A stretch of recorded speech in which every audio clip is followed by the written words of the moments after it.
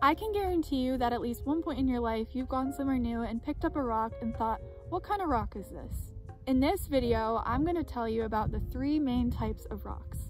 Rocks are what the Earth's outer layer, the crust, is made out of, and rocks are made out of minerals. Rocks must be composed of one or more minerals, and a mineral can be called a rock while a rock cannot be called a mineral. The three types of rocks are sedimentary, metamorphic, and igneous, and we're going to go on a little field trip to check out some sedimentary rocks.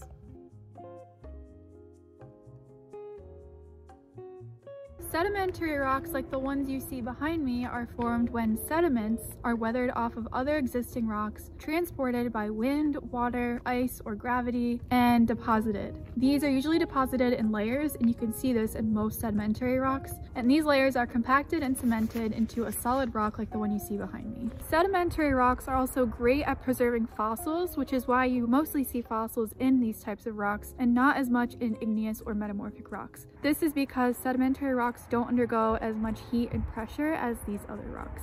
Other than fossils, sedimentary rocks also have other features like mud cracks, ripple marks, and other things that tell geologists the type of environment that those sediments were deposited in. The grain size also tells us the environment in which those sediments were deposited. Something with fine grain sediment is usually deposited in a deeper water environment like an ocean. Rocks with more coarse grain sediment were usually deposited in a shallower water environment or in a stream or something like that. Ironically enough, you can see that these rocks are currently weathered into these small little pieces and they'll eventually turn into sediment that gets transported and then deposited in a new place and eventually turned into another rock.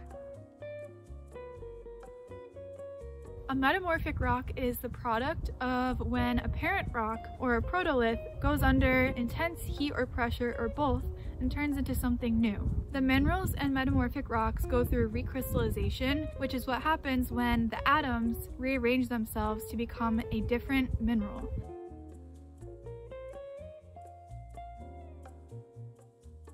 Metamorphic rocks also commonly show deformation textures, which proves that that rock went through a lot of stress in order for it to change its fabric and mineral composition.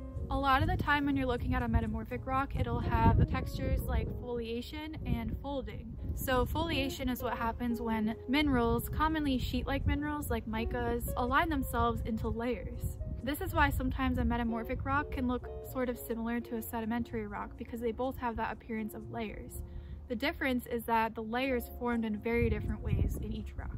Pretty much any rock can go through metamorphism. There's also different levels of metamorphism. So the higher the pressure and the heat, the more intense those changes are. But what happens when that rock is melted and turned into magma?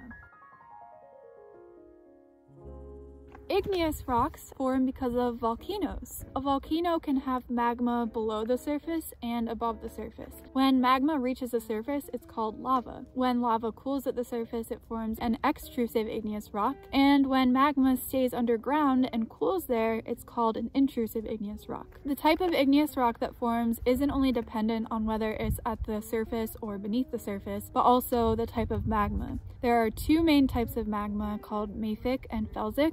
So as magma cools, whether it's below the surface or above the surface as lava, it crystallizes. Think of this as when snowflakes or ice crystallize from liquid water into a solid. All these elements in the molten rock are kind of just floating around and when the molten rock cools, those crystals grow into a solid.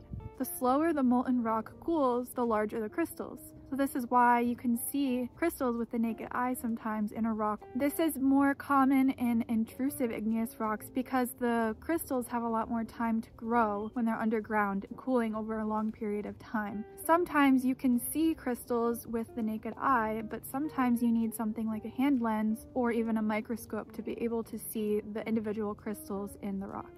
Sometimes a rock cools so quickly that the atoms don't even form a crystal structure, and this is what we call a glassy texture. So extrusive igneous rocks have what we call fine-grained or even glassy texture, and intrusive igneous rocks have coarser grained texture. If you're curious about the types of rocks and rock formations in your area, I recommend using a website called rockd.org and they also have an app. And this is really useful because you can just let it see your location and it will tell you the rocks that are in your area and it will also show you a geologic map where you can click the different formations and read about them. So that's it for this video. I hope you learned something and I hope that next time you find a cool looking rock you have a better idea of how to classify it. I hope you liked this video and thank you for watching.